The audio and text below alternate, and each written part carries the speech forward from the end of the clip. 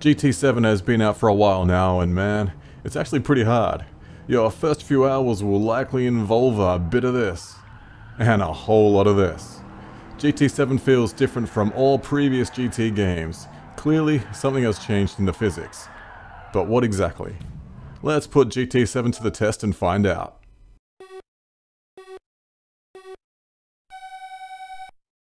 With all the tail-out action in GT7, your first thought might be that the tyres have less grip than they used to.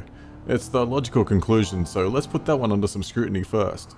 We are using Special Stage Route X for our straight line tests and our weapon of choice is the GR Supra RZ20. Its stats and tyres are identical in both games, so it's the perfect candidate for a comparison car. Slow-mo off the line, you can see that even though we are off the handbrake earlier in GT7, the GT Sport car is accelerating away. As we cross the 100 meter mark, the GT Sport car has a nice 6 km per hour lead.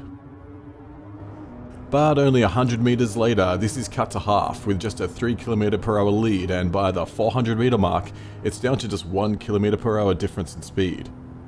After the good initial launch for GT Sport, the GT7 car is closing right in. This continues until the 1100 meter marker when something strange happens. If we stop the action right here, the cars are even in speed. But now the GT Sport Supra starts to pull away again. By the 3000 meter mark, the GT Sport Supra is maintaining a 7 km per hour lead. But there's that hill ahead. By the top of the hill, that 7k lead is down to only 3. But what goes up must come down, and that lead that was shrinking fast is now growing faster than ever. If we call it a day at the 6000 meter mark, we can see the GT Sport Supra taking the win with a 10 km per hour difference in speed. Now that was all over the show. GT Sport was in the lead, then GT7 came back, then GT Sport kicked again. What could cause that brand of crazy? Off the line, the GT Sport car had the edge, so let's say that had the grippier tyres. Then the GT7 Supra appeared to accelerate faster once out of that initial traction phase, so let's say that has more raw horsepower and torque. But at high speed the GT Sport car came back. What could that be about if it has less power? Maybe the air is thinner in GT Sport? If that were the case, the GT Sport Supra would be able to reach higher speeds with less power, so it makes sense on that level. To back this up, we see the GT Sport Supra lose speed relative to the GT7 version up the hill. This is where neither car had the torque to maintain their speed, but the GT7 Supra maintained more of its speed and all things being equal, that means that it must have more torque. Then, once coming down the hill, the engine is only fighting with aerodynamics and the GT Sport Supra pulls ahead again. Of course, this is all just speculation. We need more data and of course, that just means another test. Here we are hitting 300 in both cars and just slamming on the brakes. Just as in the first test we're in automatic to simply stop manual shifting interfering with our test results. Both cars stop at the exact same time. So much for the tyre grip theory then. If the grip were different between GT Sport and GT7 then we would see it in the stopping distance. Or would we? Maybe the braking test isn't sensitive enough and besides, there is more than one way to measure tyre grip. Let's take this to a real track. This is Tsukuba, GT Sport versus GT7. Same car, same track, same driver. Can't tell them apart? Here you go. I have cut the corners together to keep it in sync and if you watch closely you're going to notice a pattern. The braking points are generally the same and the apex speeds aren't that different either. But I get on the power earlier in GT7, which is surprising to me. It's not 100% throttle though. I am feathering it, slowly squeezing the throttle to gently bring in the power, whereas in GT Sport I'm gentle for just a little bit, then I'm smashing it. Do that in GT7 and you'll be doing donuts in no time, but in GT Sport the car just deals with it. By the end of that lap, all the traction on every turn exit adds up to a 2 second gap between the games. That is a huge difference in grip and makes it easy to see why GT7 feels so different from GT Sport. This one image alone can tell you all you need to know. On the left is the point where I was able to go full throttle in GT Sport. On the right is the point where I was able to do the same in GT7. The difference is just night and day. In the build up to release, Polyphony Digital made some noise about the dynamic environments and aerodynamics, but it's always the same claims every release. This time though, they just might have delivered, at least on the wind. New to GT7 is this little guy, a wind speed and direction indicator. In theory, this is going to alter your speed depending on the direction and strength of the wind. But something else in this Supra has caught my eye. Enhance. What we have here on the dash is a temperature gauge, a working temperature gauge. Makes me wonder what else is lurking in dashboards, but for now, let's test the temperature. On the left is a run at 12.9C and on the right is a run at 5C higher, 17.9.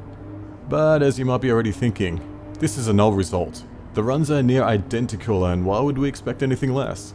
The difference in temperature is tiny and while warmer temperatures might be better for the tyres, it's worse for the engine. And the wind speed isn't identical between the runs either, which is an issue that's going to need to be solved before any further testing on how temperature affects times in GT7 can be done. Currently, it's possible to select weather in custom events, but you cannot control wind speed and the temperature range itself is disappointing, with the hottest weather being under 20 and the coldest being just under 8C, at least according to what I've found so far. If we could select say Bathurst at 0 and 40, then we would really have something. Till then though, we still have the wind. And I'm happy to confirm that this one does indeed work as advertised. The time on the left is a run with a 4.6 meters per second headwind, and on the right we have a 2.1 meters per second crosswind. All things being equal, we should see the cars very evenly matched until they start hitting higher speeds, where aerodynamic drag is king. And what do you know, that's exactly what we see. As the speed climbs, so does the advantage for the car facing less of a headwind. And that isn't all. The car also has a slight tendency to get blown around by the wind, in the run you are seeing now, the car always wants to drift to the right. I literally thought my wheel might need calibration till I noticed. Oh, that's the direction the wind is blowing. Nice work, Polyphony Digital. We are still not finished with this test track though. There's one more thing I want to test here and that is fuel weight. Does it matter at all? In the real world it can matter quite a bit, but is it even modeled in GT7? Well of course, on screen is your answer. On the right is our Mini Cooper with our full tank of petrol and on the left is that exact same Mini Cooper with half a tank. At first the car with less fuel accelerated harder, gaining a lead, but when aerodynamics became the limiting factor, both cars began to top out at about the same speed. Beyond 170, both cars were very evenly matched. Now we have already seen how tuning can affect cars in a previous video on the channel, but something else about tuning in GT7 that has caught my fascination is tyre width and wide body kits.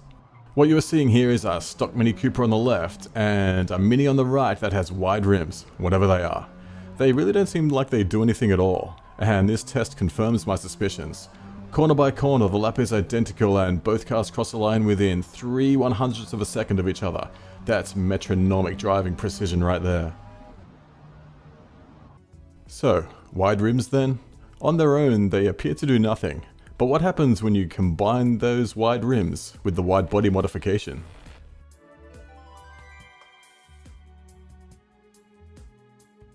Again, on the right is the wide body car in the Formula Digital livery and on the left is the stock Mini. There really isn't much in it, margins are paper thin here. It doesn't feel like the dramatic change that it is, but it is a dramatic change. Take a look at this shot. It's easy to see the wider tyres under those ridiculous arches. And of course, wide tyres means more grip. Corner by corner, the extra grip the wide tyres brings to the table adds up and by the end of the lap the wide body modification has gained us a quarter of a second over the stock time, which isn't bad at all. But honestly, some cars just look so cool with the wide body, I'd take it even if it just were cosmetic.